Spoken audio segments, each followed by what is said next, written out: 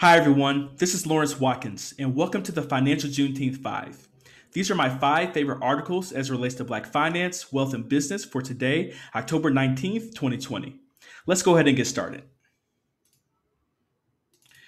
All right, so the first article today comes from the Houston Chronicle, and it is entitled Business Friendly Houston Not Always Free Market for Black Communities History Shows. Um, and it digs deep into some of the history in regards to business um, of the city of Houston and how blacks were often marginalized from having the same economic opportunities as whites and other people uh, who were actually in the city.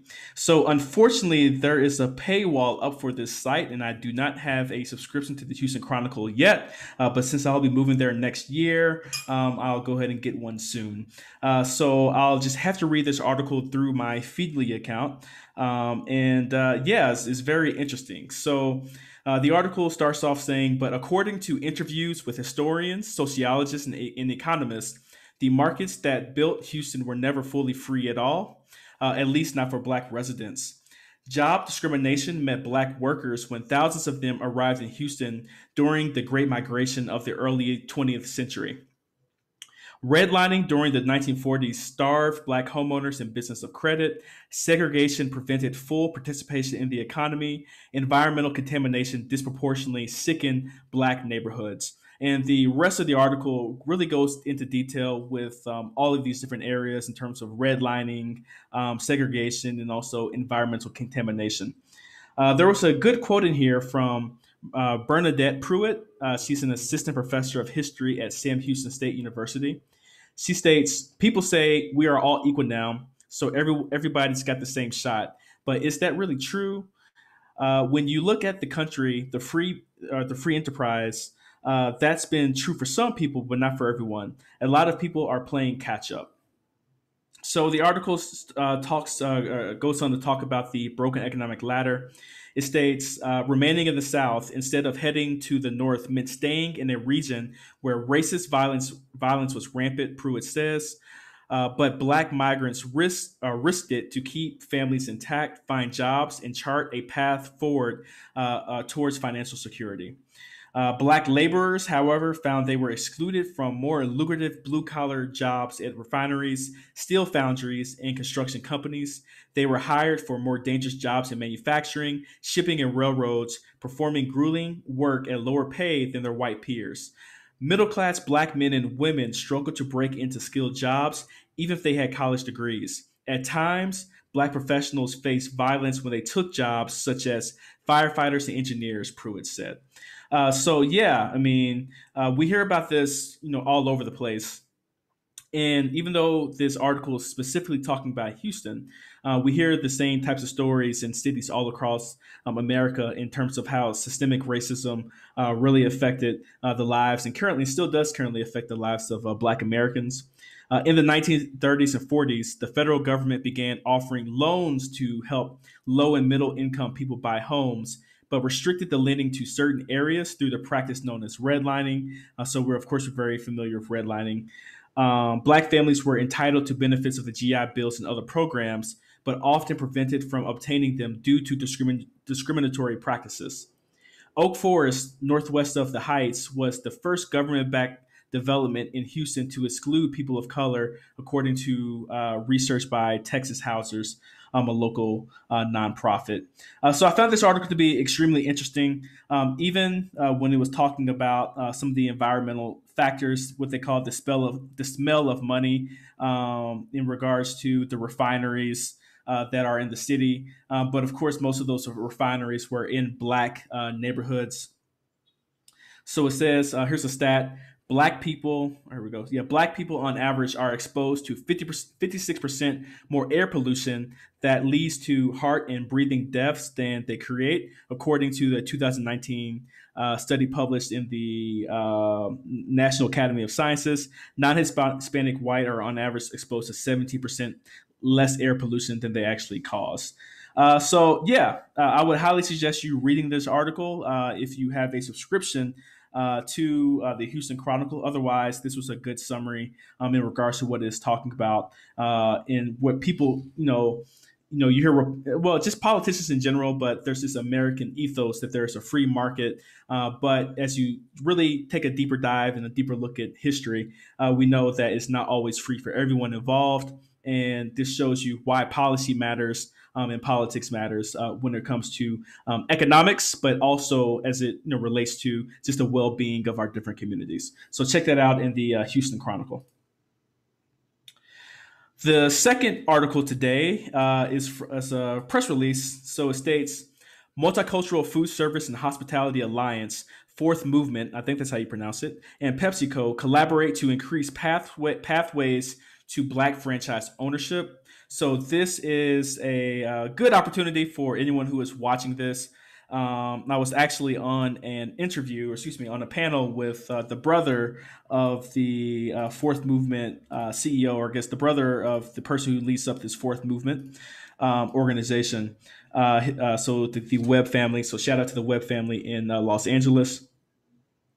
But the article states today, the Multicultural Food Service and Hospitality Alliance uh, Fourth Movement, uh, and PepsiCo announced a formal collaboration to provide leadership development and increase business ownership opportunities for Black people in the restaurant industry. Together, they are launching the Pathways to Black Franchise Ownership program, an innovative personal development training initiative that equips potential business owners to operate high performing businesses.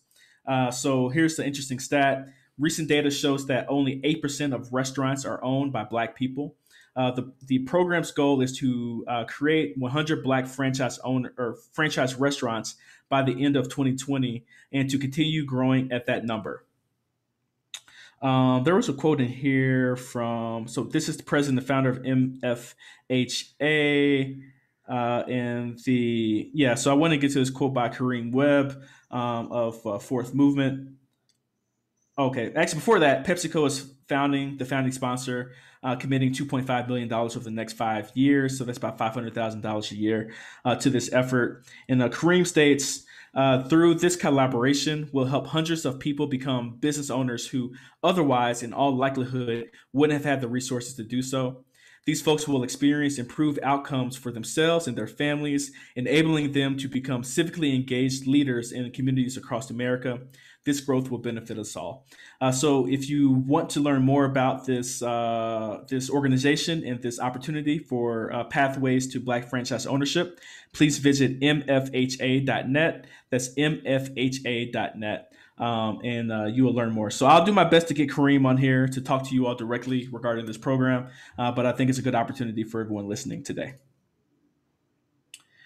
The next article uh, comes from Amsterdam News, uh, which I believe is a black owned newspaper in uh, New York City.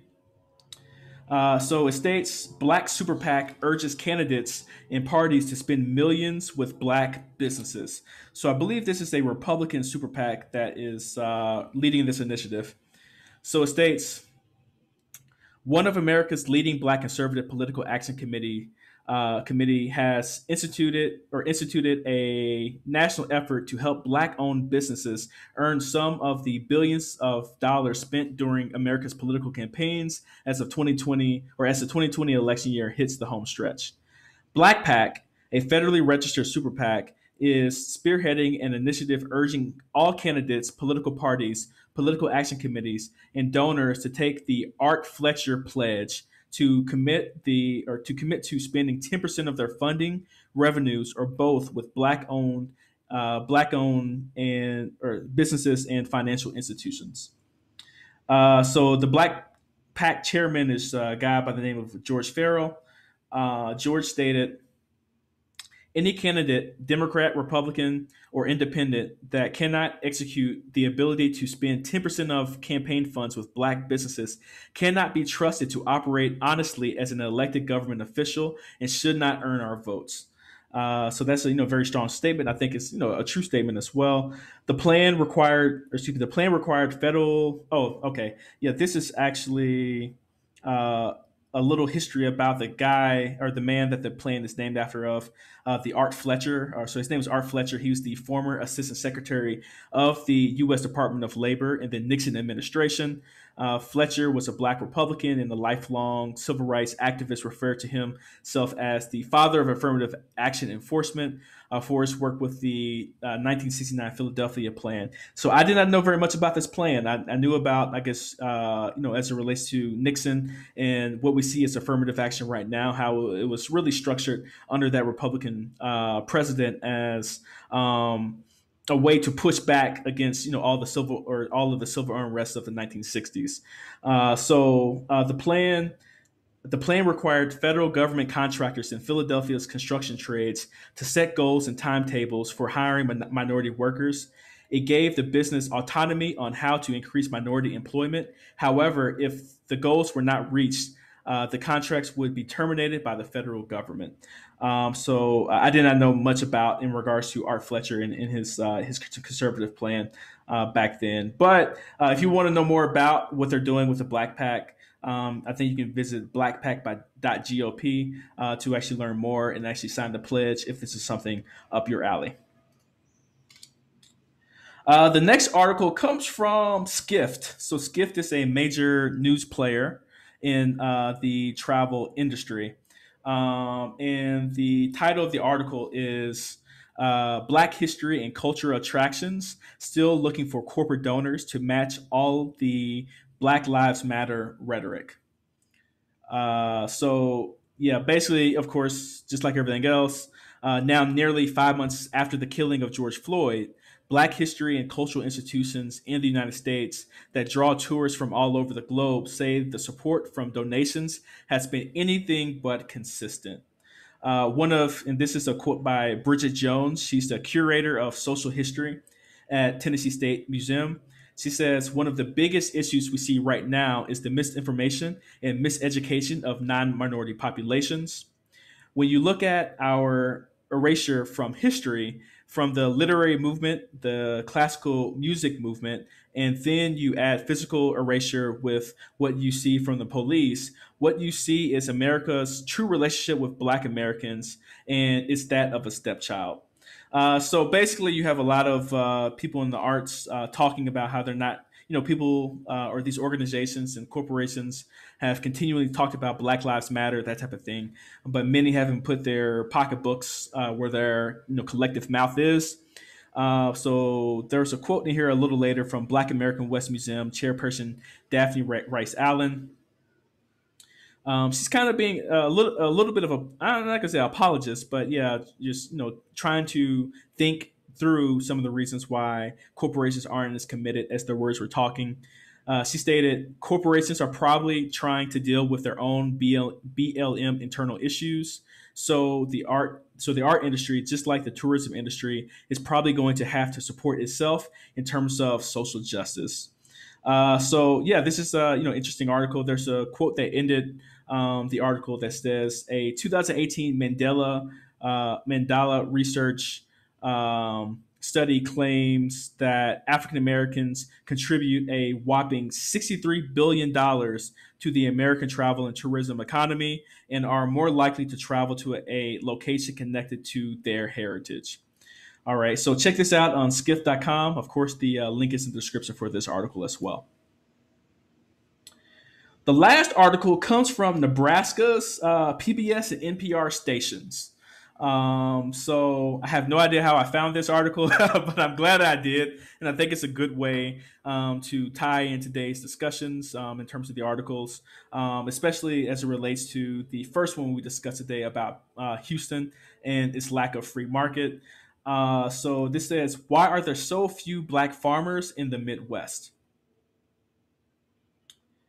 Yeah, so um, yeah, it's talking about a couple of different families. So one is Charles Downs, uh, who uh, runs uh, one of, I guess, a farming stand, who bought it from uh, the Stepp family, which was a black family uh, before the Civil War, I believe, um, a black family uh, that was farming. Um, I believe they're talking about Iowa, so I'm not sure if they're talking about Iowa or Nebraska. But anyway, there's this black family in the Midwest.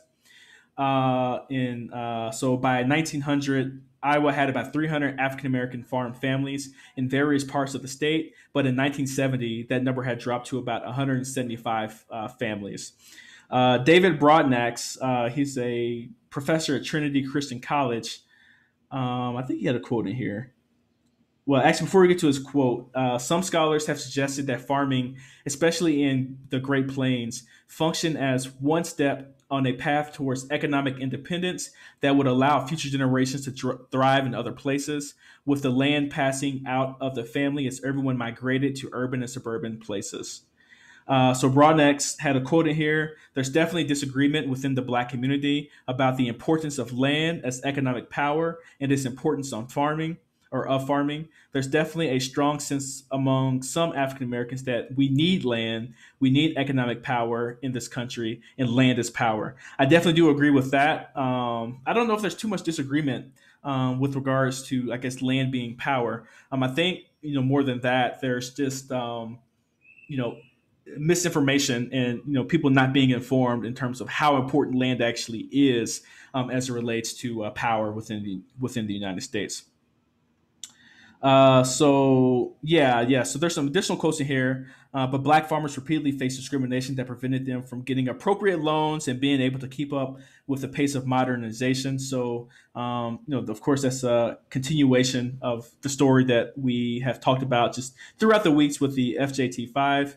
Uh, there's another reason why there, uh, I guess, a lack of black farmers as well.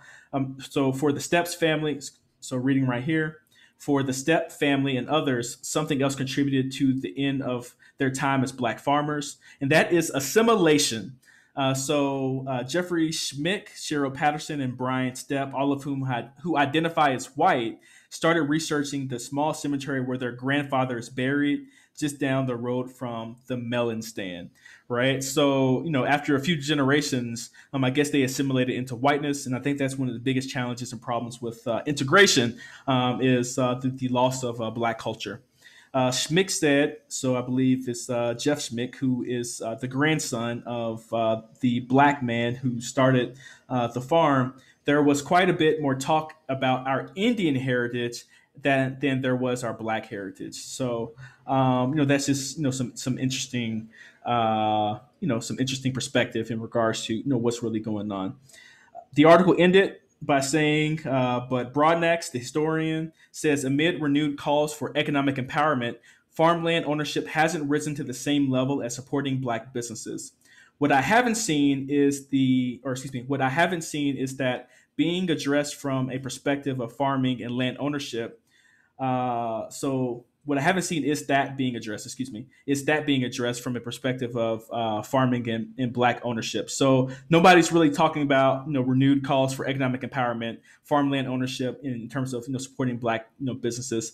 Not saying that no one has said that, but it definitely doesn't seem to be a big part of the conversation in 2020. Uh, so that came from the uh, Nebraska, Nebraska Public Radio and PBS stations um, as well. So all right, so that's my or my five favorite articles today in our financial Juneteenth five for today. Please uh, make sure you uh, like, share, and subscribe before you get out of here. Um, also, like I said, this is still a test run um, of the FJT five. So if you like this segment, uh, please go ahead and mention that in the comments. Uh, if you want to see me improve in some sort of way as it relates to delivering this type of news and information to you, uh, let me know that as well. Uh, but on behalf of Financial Juneteenth, my name is Lawrence Watkins. Take care, be blessed, and have a wonderful day. All right, bye bye.